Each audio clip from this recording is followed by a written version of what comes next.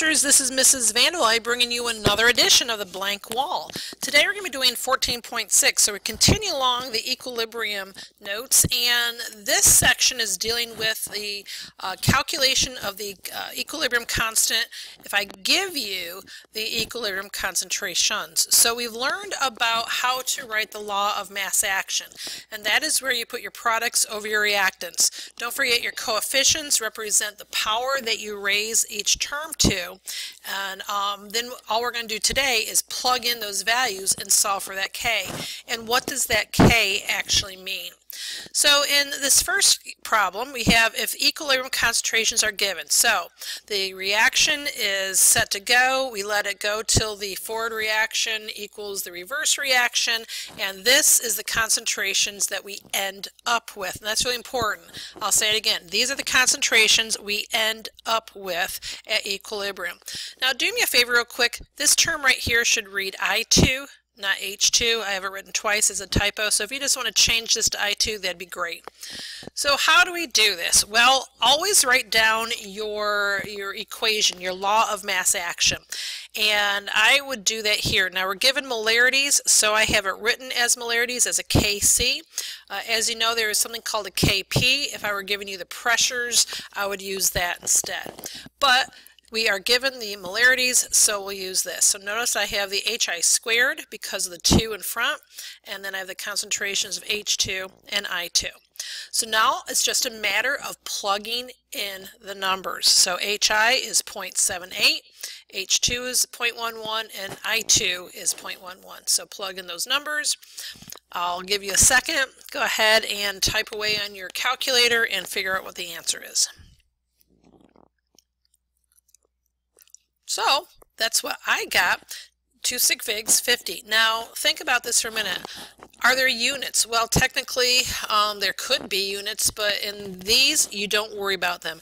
Unlike the kinetics chapter, where we always are asking what is the K units or what is the value with the units, we will not ask you what is the units for an equilibrium concentration or the equilibrium constant, excuse me. So 50 would be great. Uh, that's all you need to do. So let's see what else we need to do. So it says here the equilibrium concentration, the reactants and products uh, depend on this initial concentration. Let me say it again. These values right here, these values depend on your initial concentrations. The equilibrium constant does not, but the uh, actual concentrations do depend on what you start with. Uh, something else to note, uh, the equilibrium constants do not change. That's why they call them constants, all right? So as long as you're at the a given temperature, your, your temperature does not change, your equilibrium constants do not change. We're going to find out at the end of this chapter, chapter uh, section 14.9, what happens when the temperature changes. But for right now, we're good. So let's look at problem number 15. So I have uh, two experiments involving the exact same products and reactants uh, at the exact same temperature, looks like 600 degrees Celsius, pretty hot. And we are going to react sulfur dioxide and oxygen to form gaseous sulfur trioxide. Why is it important to know the state of matter? If you remember, liquids and solids do not get put in the law of mass action, okay? So we're asked to find the equilibrium constant uh, for both cases. Well, here is my experiment number one, where I have initial and equilibrium, and experiment number two, where I have initial and equilibrium. Notice that these two values aren't the same. Notice that my initials are not the same. So what this problem is going to prove to you that it doesn't make any difference what our initial concentrations are. We should get the exact same equilibrium constant at the end if I have the same um, uh, products and reactants. Okay, so what do I do first? Well, uh, write down your balanced equation. That is so important, as you know, so that we know how to write the law of mass action from that. So take a minute out and write down your balanced equation.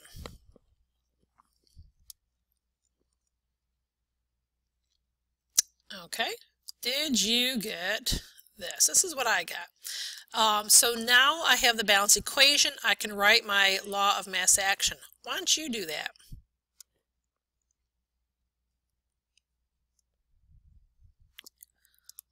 Okay, so hopefully, oops, where to go? Here it is. Hopefully you got this as a value. And now it's a matter of plugging in. Remember, we use the equilibrium concentrations in here, not your initial, your equilibrium. So SO3 is 3.5 and go from there. So here are my values and take a second out and start plugging in those numbers.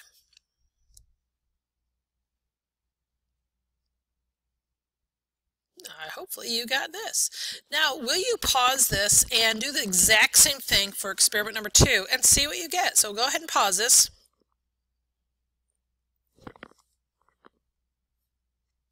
All right, how did you do? Well, I plugged in these values, which I again get 4.32. I hope you agree that they are pretty close. So even though they're what four hundredths off, that hopefully you agree that no matter what kind of initial uh, concentrations you start with, you're going to get the same equilibrium constant. Okay, so I want to set up a BCA table, our old friend BCA, and make sure this makes sense to you. Okay. So I wrote down the equations twice because I'm going to use experiment number one and experiment number two again. And I want to set up the BCA. Now think about the B as beginning, which is your initial. The C is what we need to look for, and think of the A as equilibrium. Now, I know that the BCA table has moles, so if I assume there's one liter of solution, then my molarities would be moles. So let's just take care of that. So I'm going to be plugging in, these are my B's, these are my A's. Okay, so let's see what I get when I do that. So I'm going to start off with my B. Here is my initial set. My C, which I don't know about yet, and hang on, let me scroll down a little bit. And here is my A. Okay, so how am I going to do this? Well, if you notice that I start out with two uh, moles, or the molarity, if you will, and I end up with uh, 1.5, how much did this go down by? Went down by 0.5. And same thing here, I subtracted 0.25 and I added 0.5. Notice again, it's the change we need to look at. What is 0.5 divided by 2? times 1. Isn't that 0.25? What is 0.5 divided by 2 times 2? That's 0.5 again. So what we're doing in the ICE table, or what's coming up as the ICE table, is the same exact procedure as the BCA table. So why don't you take a few minutes out, pause this, and fill in the BCA table for the second one.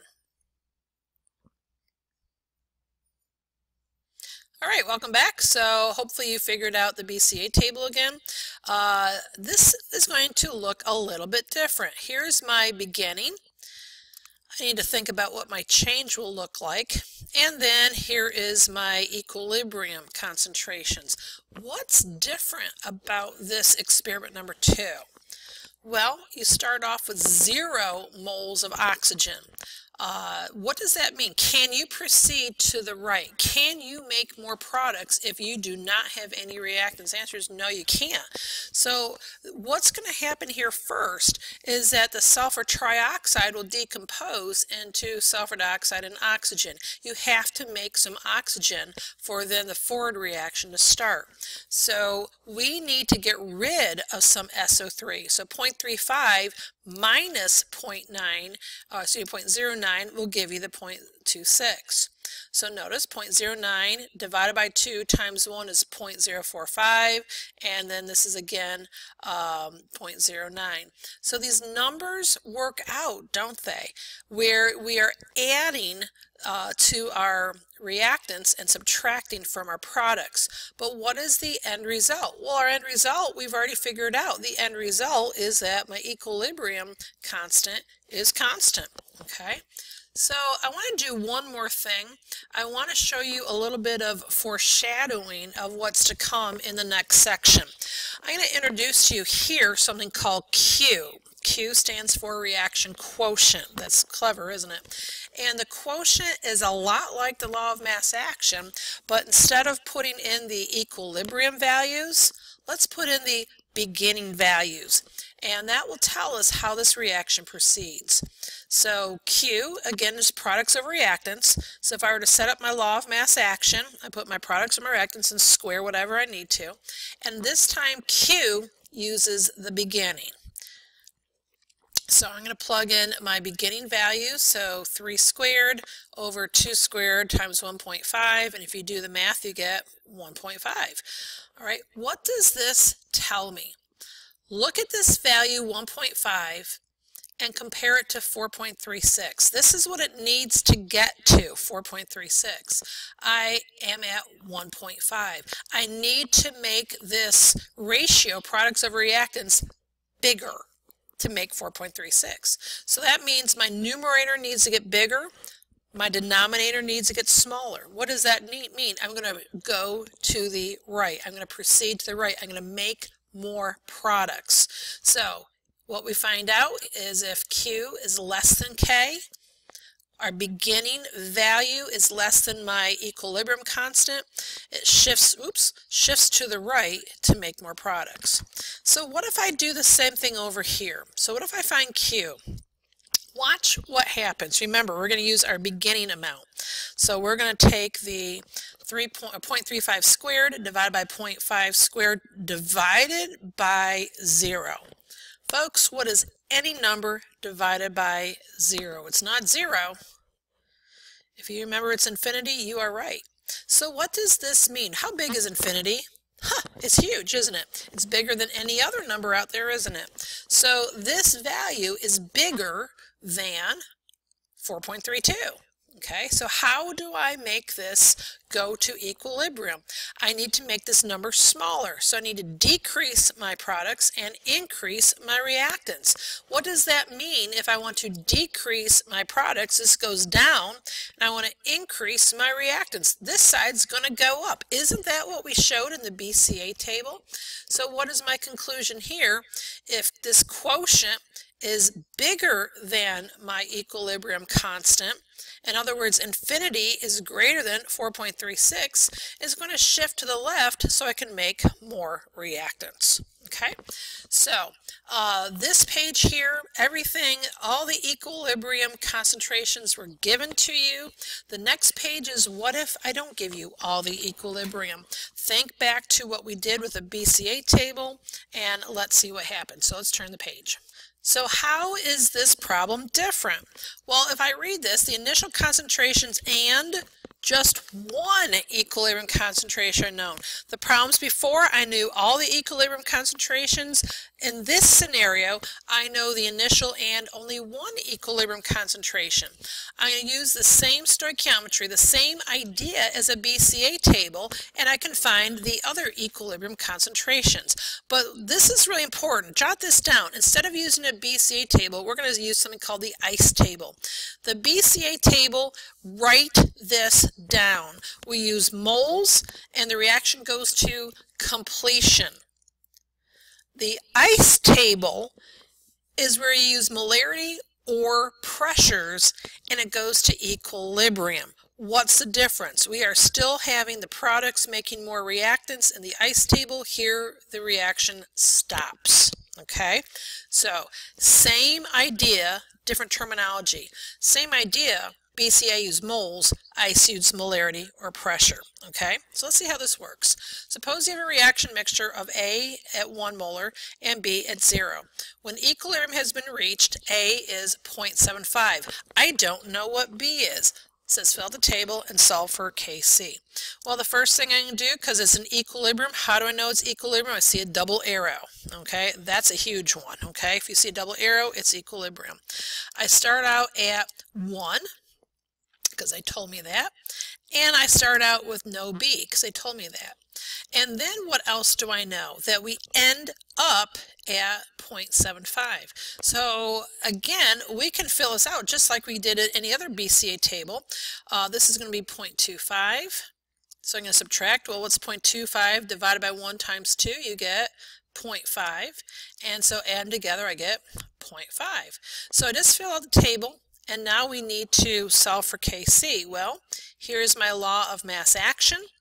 I'm going to plug in my values, and then I get 0.33. Now, if you think about it, remember what we talked about Q before? Oh, it's 1 divided by 0. It's going to be infinity. um, I'm sorry, I'm wrong. What's 0 divided by 1? There we go. It's 0. So no matter what, it will proceed to the right to uh, make some b. I'm about out of time. Watch the next video. Bye.